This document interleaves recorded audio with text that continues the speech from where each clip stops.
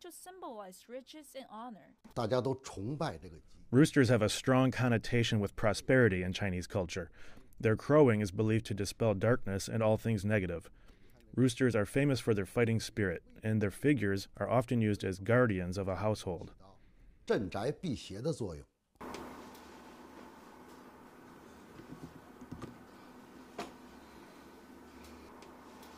Paper cutting has been popular throughout China ever since we had paper. The tools are easy to get, and the subjects are easy to find. We revere the color red, and we all need to place our hope in something.